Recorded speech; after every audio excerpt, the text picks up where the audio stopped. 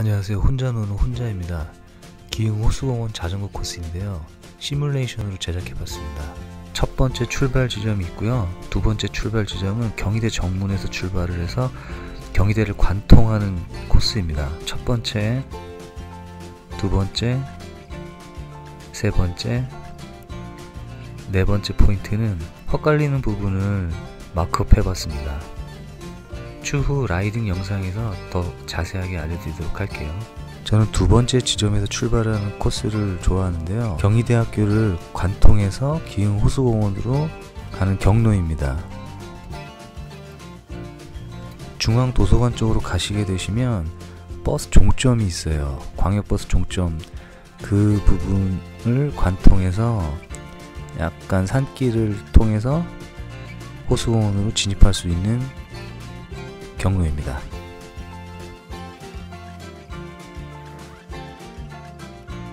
여기가 버스 종점입니다. 광역버스 이렇게 산길을 통해서 가시면 되는데요.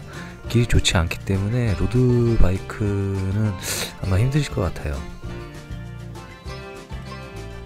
그 다음은 첫 번째 지점에서 기흥호수 공원을 순환하는 코스입니다. 음, 제가 구글 어스로 제작해 봤는데 좀 많이 허접하네요.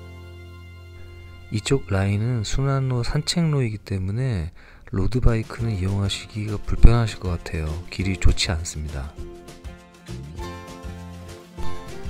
로드바이크를 이용하신다면 반대편 자전거 길 라인만 다니셔야 할 것 같아요. 경희대 합류 지점을 통과하고 있습니다.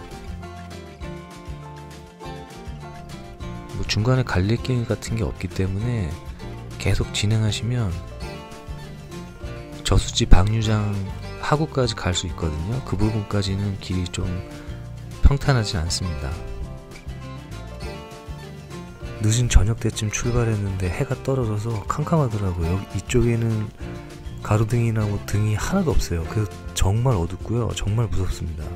길을 헤맸던 기억이 있어서 조금이나마 도움이 될까 싶어서 제작해 보았습니다. 첫 번째 포인트 쪽으로 가시게 되면 산책로랑 산길이 나오는데 산길로 가셔야 돼요. 그러면 두 번째 포인트인 계단이 있습니다. 계단을 오르셔서 세 번째 포인트는 다육이 화원길을 지나시면 돼요. 옆에 자전거 길이 있는데 자전거 길로 가시면 안 됩니다. 쭉 내려가시면 왼쪽에 수상 골프장이 보여요. 정면에는 산책로 데크가 보입니다. 근데 자전거가 출입 금지인 것 같아요.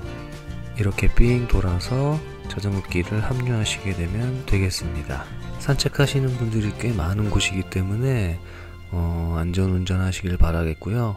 이렇게 쭉 가시면 하갈 교차로까지 진행하실 수가 있어요. 거기서 다시 순환하는 코스 그렇게 되는 코스입니다. 마지막 네 번째 포인트는 얼마 전에 개통되어서 하갈 교차로까지 이동할 수 있게 되었어요. 경사로를 이용해서 계단을 올라가시면 됩니다. 계속해서 순환로를 따라서 가시면 첫 번째 스타트 지점에 도착하실 수가 있습니다. 대략 길이는 10km 정도 되는 것 같고요. 저의 실력으로는 한 30분 정도 걸렸던 것 같아요. 재밌게 라이딩을 하시려면 두 번째 출발 지점 경희대를 통과하셔서 라이딩 하시면 약간의 언덕과 내리막이 있기 때문에 재밌는 라이딩을 하실 수 있으실 거예요. 오늘은 일단 이렇게 시뮬레이션으로 알아봤고요.